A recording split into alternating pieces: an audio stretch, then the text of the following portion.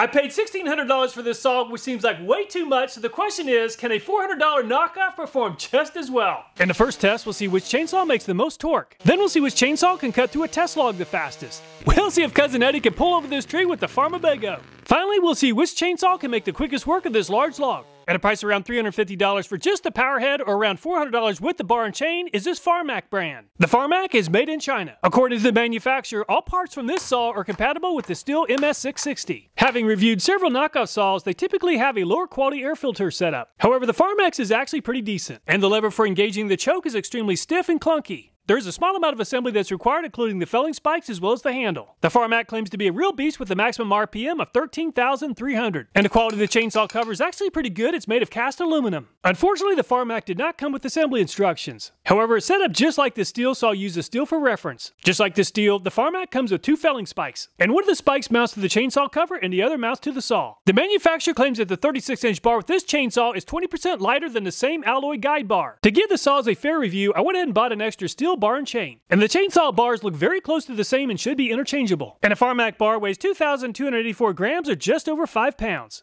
And a Stihl bar is a little bit heavier at 2,302 grams or just over 5 pounds. The genuine Stihl and the Farmac chains are the same at 3 8 inch pitch, 0.63 gauge, and 114 links. The Stihl chain is on the bottom and the Farmac chain is on the top. The Farmac chain looks like it's a full chisel and the Stihl looks a lot more rounded and appears to be a semi-chisel. And the genuine Stihl chain weighs 566 grams or 1.25 pounds. And the Farmac chain weighs exactly the same at 566 grams or 1.25 pounds. And the bar and chain on the Farmac is ready for action. And a Farmac with the 36 inch bar chain weighs 24.72 pounds. I just filled the fuel tank with fuel, so let's see how easy it is to start the saw for the first time. With the choke engaged, it started to come to life on the fourth pull. The carburetor is now in the run position. And the Farmac should be getting plenty of fuel. And the Farmac is up and running after a total of 9 pulls on the starting rope.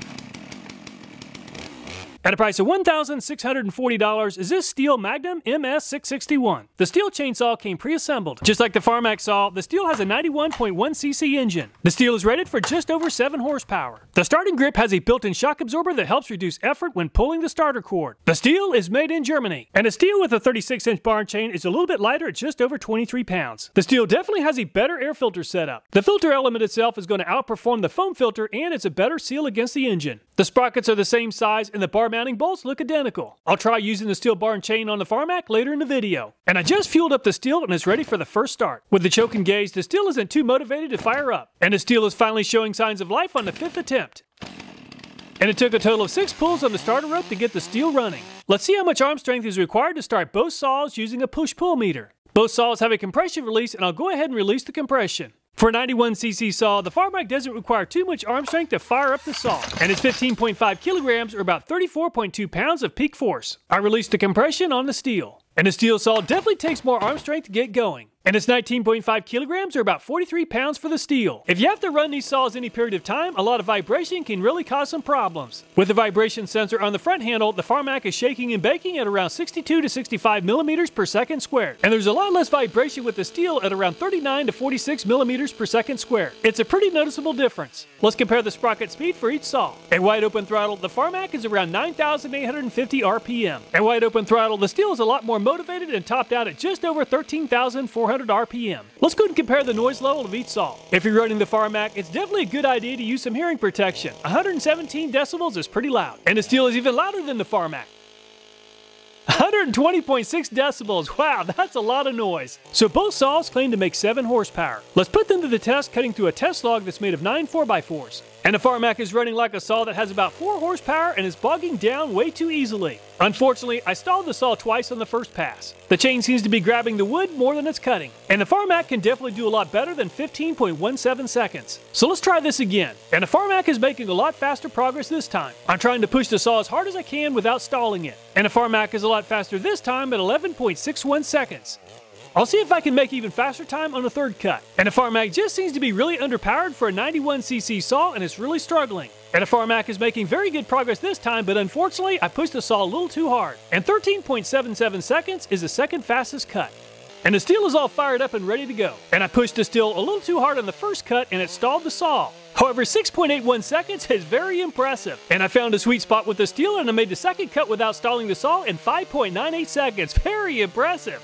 And I pushed the saw a little harder on the third and final cut, and the saw made the fastest time of the three in 5.88 seconds. Very impressive. I just installed a brand new Stihl bar and chain on the Farmac. It's the same bar and chain that's on the Stihl saw. And the Farmac is definitely running way too rich and bogs down way too easily. However, it is the factory tune. And the Farmac made the first cut in 13.36 seconds after stalling the saw one time. I won't push the saw quite as hard this time. And the Farmac is making a lot better progress with the Stihl bar and chain.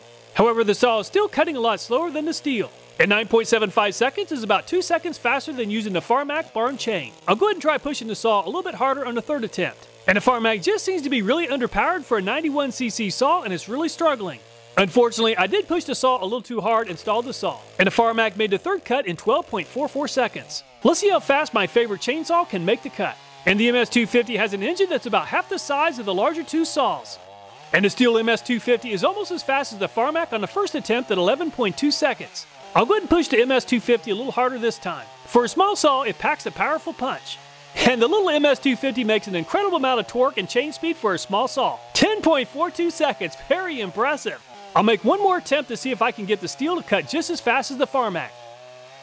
Unfortunately, I pushed the little saw a little too hard and it stalled out just before finishing the cut. And it's 11.61 seconds on the third and final attempt. I leaned out the carburetor on the Farmac just a little, but it's still rich enough to avoid causing engine damage. And the carburetor adjustment really woke up the saw. And the Farmac just finished the first cut in 6.24 seconds. Very impressive. And I pushed the Farmac a little harder in the second cut, but it didn't help. 6.39 seconds is still very good. And I pushed the Farmac just a little too hard and I stalled the saw on the third attempt. And it's 8.05 seconds, which is still pretty good considering the chain did come to a stop during the test. So just taking the fastest cut for each saw, the Stihl's fastest cut was 5.88 seconds. However, after adjusting the carburetor and installing a Stihl bar and chain, the Farmac is almost as fast at 6.24 seconds. Before we saw down a really large tree, let's first compare the saws on a chainsaw dyno that I put together. The steel plate weighs 10 pounds and a chainsaw dyno is showing right at 10 pounds. The saws are fully warmed up and ready to go. And it takes 60 pounds of downward force to stall the Farmac. The saw did even better on the second attempt at 63 pounds. And the third and final attempt is the best of the three for the Farmac at 65 pounds. And the Stihl definitely seems to make more torque, but that's pretty subjective. And at 70 pounds or 5 pounds more than the Farmac on the first attempt. And the Stihl did even better on the second attempt at 71 pounds. And the third attempt is by far the best of the three at 77 pounds. Very impressive. So just looking at the best of three for each brand, the Stihl took about 12 pounds more downward force to stall the saw compared to the Farmac. A few weeks ago, Cousin Eddie got the Farmabago stuck in a pond. And now he's wanting to redeem himself by showing me that an off-road recovery rope is a proper way of taking down a tree. The recovery rope is attached to the back of the Farmabago, and he says the old Farmabago has more than enough gusto for the job.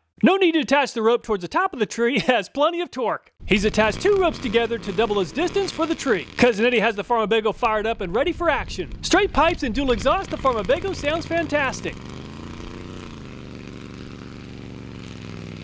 And the Farmabago just didn't gain enough speed on the first attempt. So we'll give the Farmabago a little more distance to gain speed on the second attempt.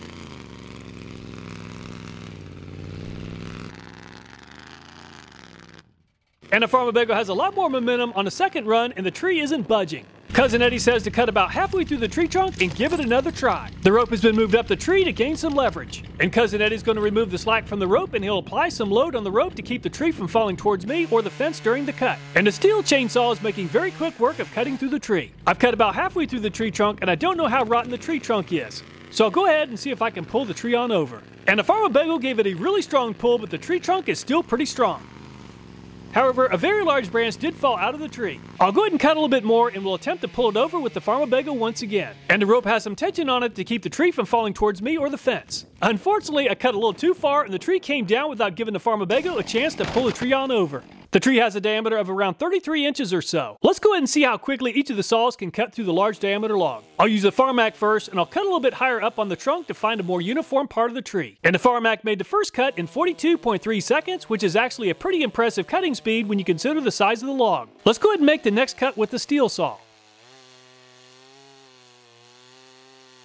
And the Stihl saw seems to hold a higher chain speed under load and also seems to have more torque. And the Stihl chainsaw is even faster than the Farmac at 35.9 seconds. Very impressive. That's almost 18% faster than the Farmac. Let's go ahead and test the Farmac once again.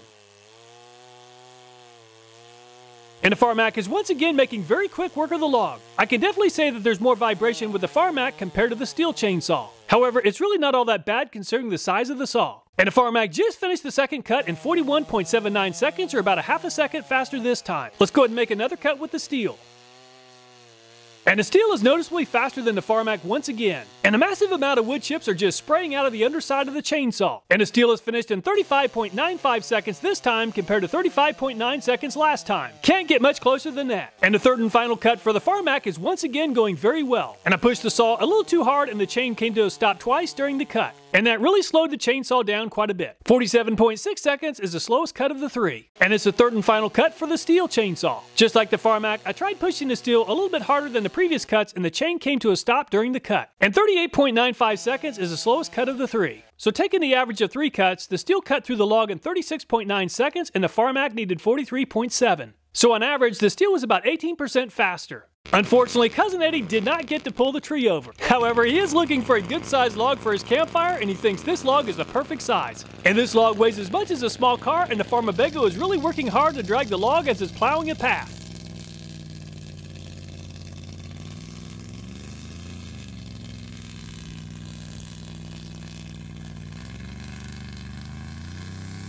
And the log has finally stopped the Farmabago, but Cousin Eddie is not finished. With a little bit of a running start, the log is moving once again. So is the Farmac as good as a Stihl? Absolutely not. However, when you consider the price of four to five hundred dollars and the performance, it's a tremendous value, and I would not hesitate to buy the saw. All the videos in this channel, include this one, are viewer suggested. So if you have a video idea, I hope you'll take time to leave a comment. Thanks so much for watching. Please take care, and I look forward to next time.